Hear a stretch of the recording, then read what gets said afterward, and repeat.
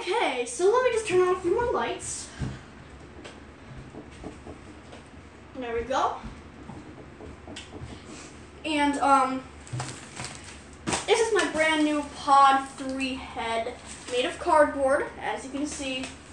Um, you may be wondering why it's taped together. Well, that is because, uh, you know, for the dormant position, the uh, puppet for the dormant position has to go like just still, and the head has to be facing up. So, what I did is that I taped it together. For the dormant position is taped together.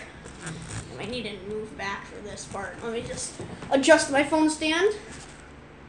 Um, yeah, that's good. And um, all I have to do is uh, this part will be facing towards the audience. And I just have to slip it on. And yeah, there we go. Pod 3 dormant position is just this.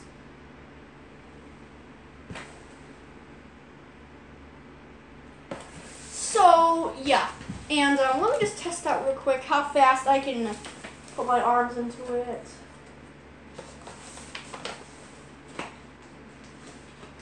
At this point, uh, Seymour, the character, will be untaping the plant while he's doing his little sudden changes bit. And then, I do the, like, feed me, and then that's how that would do. Now, um, I'm probably not going to readjust it for the part where Audrey and Orin comes in, like that part. I'll probably just do this and face towards the audience. It'll look exactly the same.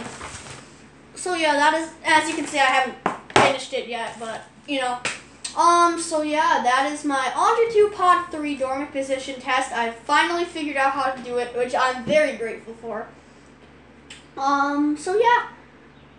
Um, so yeah, that's my, uh, Pod 3.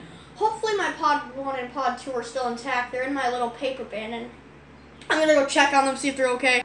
So I found Pod 1 and Pod 2, and unfortunately, they've taken a lot of damage. Um, here's Pod 1. It's all crumpled up, and as you can see, it doesn't really stand up on its own anymore. And Pod, Pod 2, I'll get right over here as soon as I can get out my hand. Here we go. Pod 2's right here. And, um, it's def these guys have definitely seen better days. Let me just put them on real quick. Right. They've both definitely seen better days.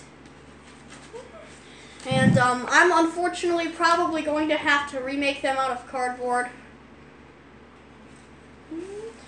Because they've taken so much damage.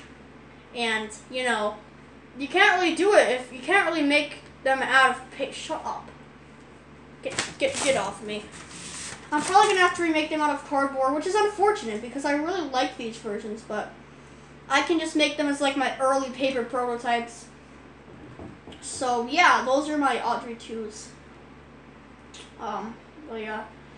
So, unfortunately, I am going to have to remake them out of cardboard, but that's okay. I'm sure they'll function just as well out of cardboard, even better because they're more stable and durable as they were before. So yeah, that's uh, my Audrey 2. I'll probably make an all I have for Audrey 2 version 2 eventually because Pod 4 over there is done. Um, I'm not really to show him because I'm lazy and he's dirty. Like I put I I use it for storage because it's like a it's a cardboard box. So I just use it for lots of storage of things. So there's a bunch of garbage and cardboard scraps in there. Um so yeah, that's um that's uh Audrey 2 updates and yeah. So I will see you guys in the next video slash Audrey 2 update. I don't know actually when this video is getting uploaded.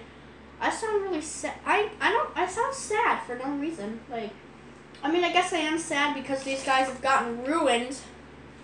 But it just means that I'll have to remake them. This is like the piece and, you know, I'll have to remake them out of cardboard, which shouldn't take long. They're really, really, really tiny. So, that's all I have for Audrey 2 updates. And I will see you guys in the next video. So, peace.